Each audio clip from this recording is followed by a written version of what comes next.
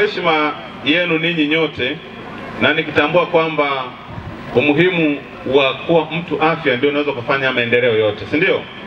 Lakini kwa kuwa pia kata hii ni kata ambayo msimamizi wake pia ni kiongozi kwetu halmashauri, mwenyekiti wa halmashauri, hiyo heshima hiyo, na mwenyekiti wenu pia nimesema tunaelewana vizuri sana.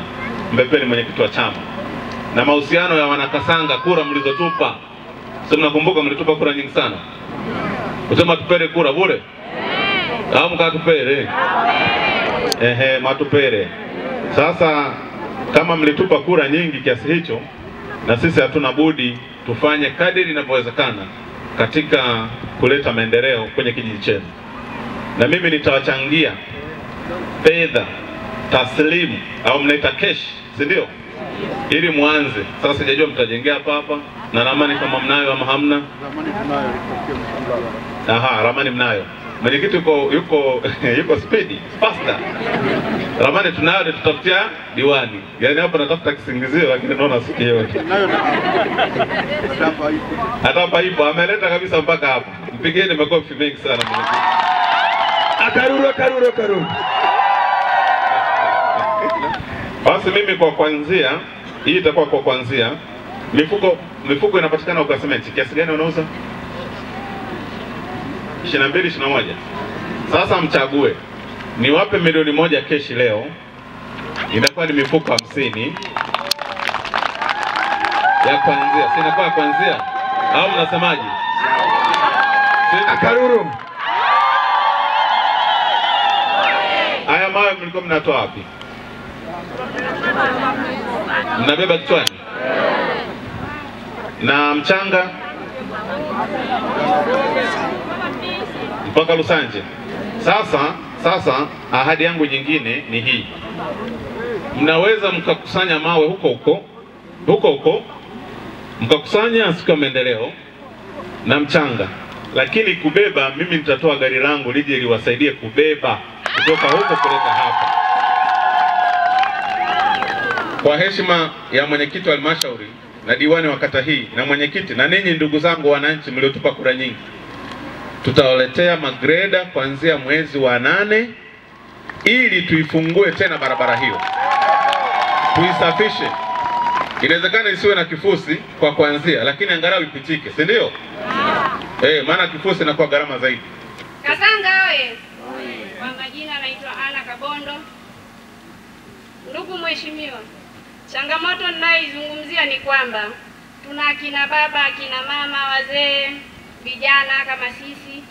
Ni kweli wengine wamebadilika hata mikono kuwa ya kijani, lakini changamoto iliyopo ni kwamba kwa miezi minne hiki kiwanda cha chai hawajagusa hata mia. Huyu mzee ametegemea huo mradi ni kwa miaka yote aliyonayo, lakini kila wiki anaingia shambani mara tatu au mara mbili na chai inaenda kiwandani, lakini kwa miezi minne hajagusa hiyo hela yake, na tunajua liko ndani ya uwezo wako. Unatusaidiaje labda kwa hilo? Eh, Mheshimiwa, kwanza nikushukuru kwa kutupa nafasi ya ku, ya kuwaeleza wakulima, kwa sababu pengine tukijaribu kuwasiliana nao hatuwezi kuwafikia wote kwa pamoja. Na nimekuweka loudspeaker. Sawa Mheshimiwa, kwa kifupi tu ni kwamba plani eh, mpango wetu wa kuwalipa wakulima kwa madai ya mwezi wa nne na watano ni mwishoni mwa mwezi huu wa saba. Kwa hivyo sasa hivi kampuni iko inapambana kutafuta fedha za kuweza kufanya hivyo na panapo majaliwa basi mwishoni mwa mwezi wa saba tunaomba wakulima watuvumilie, tuta tuta tutafanya malipo ya ya vipindi viwili, yani mwezi wa- nne na watano. Kwa- nini mmechelewa sana? Maana wananchi hawajui kwamba yani kitu gani kimetokea mpaka mmechelewa kuwalipa wakulima, na wakulima hao wanategemea zao hilo hilo la chai na familia zao wanasomesha na kila kitu. Ni sahihi mheshimiwa. Shida kubwa ni soko la chai kwa ujumla duniani kote limeanguka sana. Kwa hivi kwanza tunapa, tuna chai kukubalika kwa mteja inachukua muda mrefu, lakini hata ikipata mteja tunapata kwa bei ya chini kuliko ambavyo tulikuwa tuna. Kwa hivi hata hizi fedha ambazo tunapambana kuzitafuta kuwalipa wakulima hazitatokana na mauzo ya chai. Chai nyingi bado tunayo kwenye stoo zetu hajawapata wateja. Kwa hiyo tunatafuta mikopo tulipe, huku sisi tukiendelea kupambana kutafuta wateja na kutafuta masoko ili tuweze kuuza. Kwa hiyo tatizo kubwa kwa kweli ni anguko kubwa kabisa ambayo limetokea kwenye sekta ya chai dunia nzima, kwa kweli, sio sio kwetu pekee. Hii ni tatizo limeikumba sekta ya chai duniani.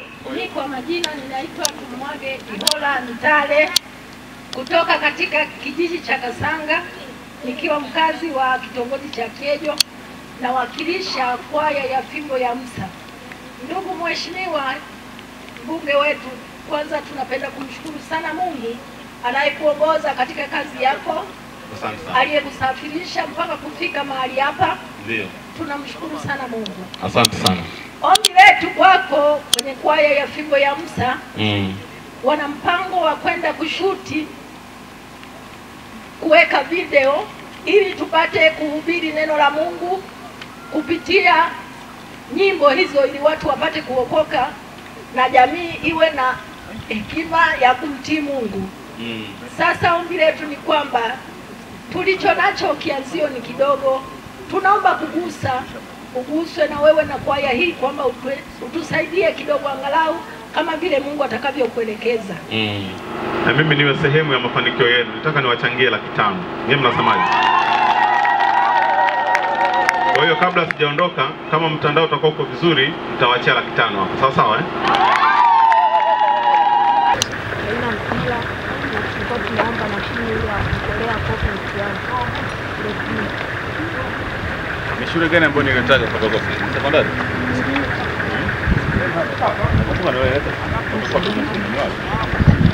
Sekondari.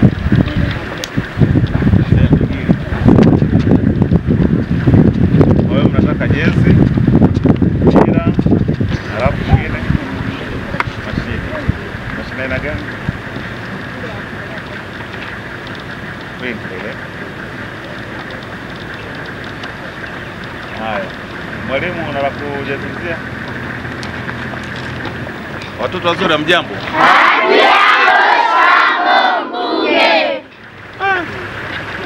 Eh, kweli nyewe viboko. Mko la ngapi na la ngapi hapa? Kwanza la tatu. Ndio. Uliongea ongea ni la ngapi? La saba. Wewe unaitwa nani? Maktari. Okay, ongereni sana. Asante. sasa leo mimi nitawapa nitampa mwalimu wenu kwa sababu mpira sijatembea nao fedha za kununulia mpira, sawa? Ndio. Hao mengine mlioyaomba hayo tutaendelea kuyafanyia kazi ili tujue gharama zake kama fotokopi shingapi, ngapi, lakini mpira unaeleweka bei yake, una elfu sabini themanini, ili vijana wakati wa mapumziko muwe mnakwenda kwenye michezo, si ndio? Ndio. Mnafanya vizuri darasani, lakini ndio. Eti mwalimu, performance academic ikoje? Wako vizuri eh? Haya, ngoja ni mkabidhi mwalimu wenu hapa hiyo elfu themanini kwa ajili ya mpira.